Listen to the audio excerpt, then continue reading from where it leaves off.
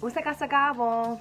So this video is going to essentially be me showing y'all some images that I created for Instagram in direct response to people losing their minds with regard to posts that I made discussing how spanking is a form of child abuse.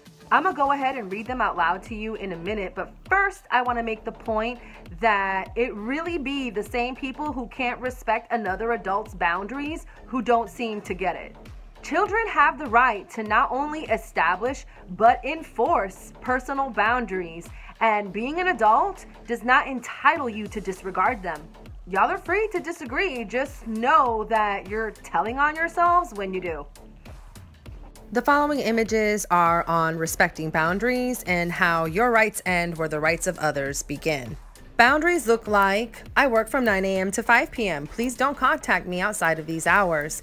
I don't respond to messages on the weekends. I need time to process what you said. Let me get back to you. I'm uncomfortable discussing that and ask that you stop insisting I do. I respect your opinion, but this space is for mine. Use your space for yours. I will delete disrespectful comments. And if you continue, I will block you. In this age of information, people seem to think it's okay to disrespect others as well as their boundaries because the internet offers anonymity, thus allowing them to not be held accountable for their words or actions in the same way in person interactions do.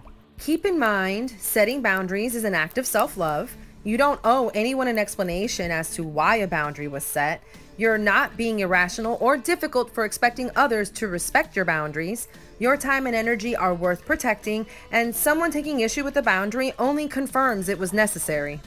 Too many people claim to want a healthy discussion when all they really want to do is argue and push their beliefs onto others.